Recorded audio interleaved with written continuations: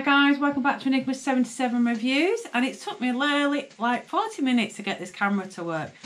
I don't have much luck with cameras guys.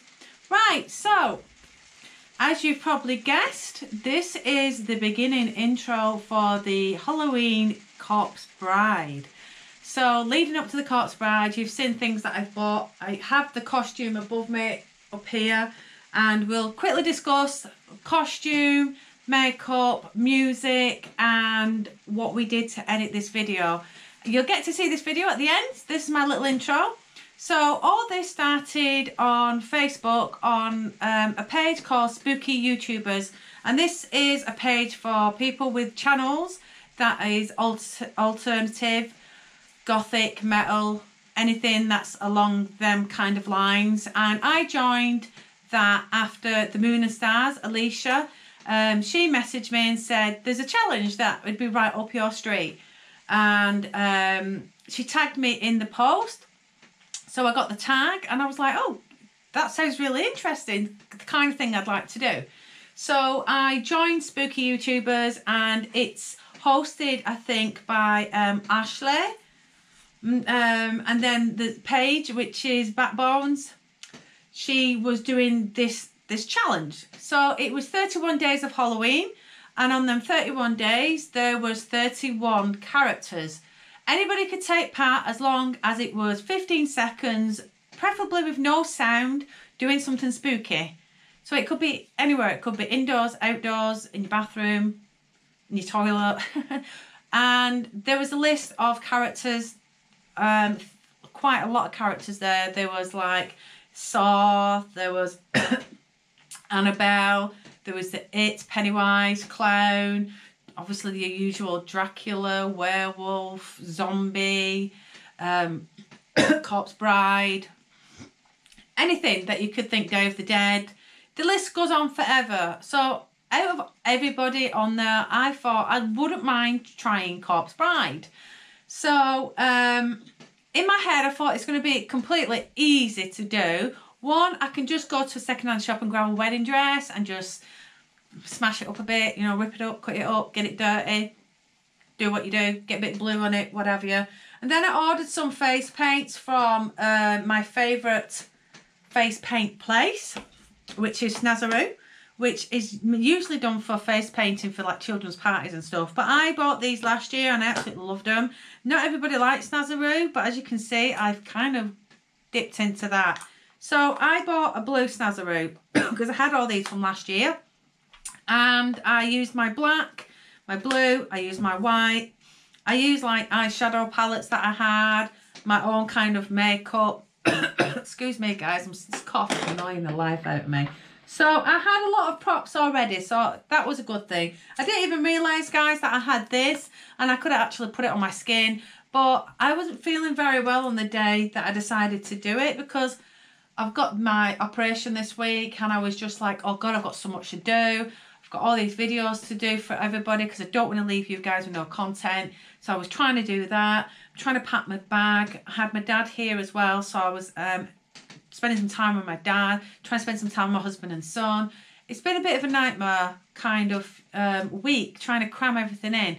So, and I had to wait for things to be delivered. So in the end, I couldn't find a second-hand dress and I went on to eBay and picked up a zombie bride dress. I didn't realise, guys, that that came with a veil.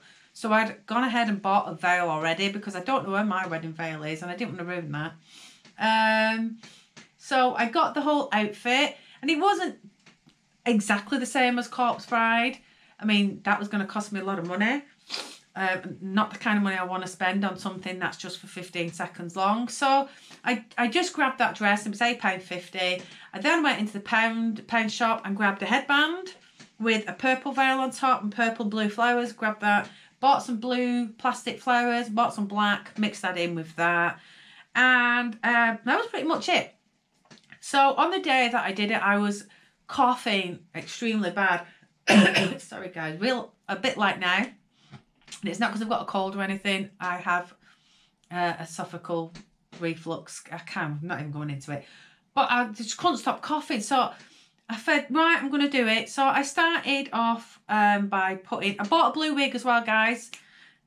can't stress that enough. That was £5, second hand, perfect. It wasn't the blue that I wanted, but it was blue.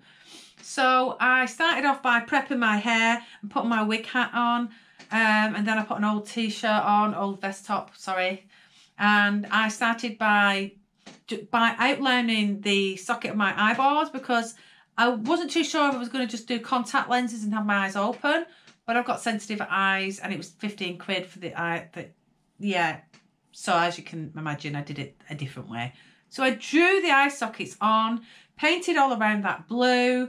I put blue all the way down into the middle here and then I did the rest black and then just a bit little here. Once I'd done my face blue, I continued with like a cut with some teeth along there. You can't really see it too well, guys, but I do have pictures. And then I painted this bit white, and that is where things went wrong because I'm a very stressy person, and um, my husband and my dad were telling me that I did the black in the wrong wrong place. It didn't look right. And then I tried covering the black, and then the white went like a bluey grey colour and I was getting stressed out and then the white wouldn't punch over the white. So as you can imagine, I was getting really like by this time. So I ended up doing it a second time and I still, it was my own fault. I was getting tired. I was, I was getting fed up now. It was cold in here. And what I should have done, guys, I should have actually done the black dot over my eyelids and keep my eyes firmly shut down and I forgot to get my white mascara. I did have some and I, I don't know where I don't, oh, I didn't know where I had it. And I was supposed to try and get rid of my black eyelashes because I do have real black eyelashes. so that showed through as well. So they were my two big mistakes for the challenge and it is what it is. I did the challenge the best I could and I looked as, as um, corpse bride as I could. So you will get to see in a minute that challenge. It's there's two versions of it because I did um two I did four versions for Paige. I did one that wasn't so much a crazy kind of one with sound, which the music, I'll go through that in a minute. And then I did one without, and then I did a little bit more crazy insane kind of one with music and one without. So Paige has got four. I've let her choose which one she wants to use. It doesn't really matter because I'm going to use the two with sound on this video, which will be coming up after this. Um, so after I did my costumes, guys, I have a gothic mirror in my bedroom. I covered that green and I have a green backdrop. So we kind of did a few shots of me doing some distorted movement with my eyes closed, which was kind of hard with my eyes closed. I was kept feeling really unbalanced and I was like having to turn around and twist around and move my neck and uh, kind of not in a bad way because I didn't want to hurt myself. and then we did it looking in the mirror and you'll see the rest. So we did it all with Kdenlive, which is the kind of rendering app that I use anyway for my videos. And it took my husband a little bit to do it, maybe about a couple of days to do it, because obviously he's got a PhD to do. So when he had time, he went in and did what he did. My father-in-law, which you've seen in my chili challenge, Philip, he um, composed some spooky music. I let him listen to a little bit of the Corpse Bride music, and he was like, I don't really want to listen to it because I'll end up copying it because he's a musician. So he scrapped that idea and then he waited till the song was out of his head and then he got stuck in.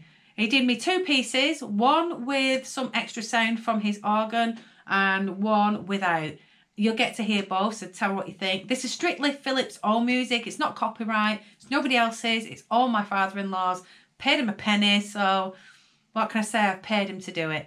So that was how it all went together. If you've got any more questions about how we did certain things in a certain way, pop your comments on below and I'll be happy to answer that, preferably when I'm back online.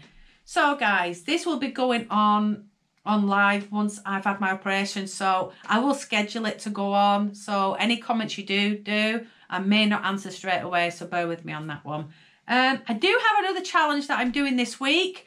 I don't want to say too much about it but I wanted to put a little bit of a gore factor in the Halloween challenge. So I am planning to do another one on Wednesday. Forgiving the weather. If the weather's bad, I won't be able to do it because I can't risk getting any kinds of colds and stuff before my operation. But the weather's dry and I'm going to do it at night time. So we'll see. We'll see. All right, guys. So this is it. I'm going to say my goodbyes now. I hope you like what we've done here. And happy Halloween, guys. Um, this is going to go on live before Halloween, I know that, but it's Halloween all through the month. Now, my little jibby jabby dude is giving it some on my days. He just sits and jibby jabbers. But it's got a bit dark now, so he stops. I'm going to get a few more of these because they're brilliant. All right, guys. So enjoy the next bit. It's only short. I'm going to put a few kind of images in so you can see shots of where we went along so you get the idea. Then at the end, you'll see the video. So enjoy, guys, and I'll um, see you soon. Happy Halloween. Stay spooky.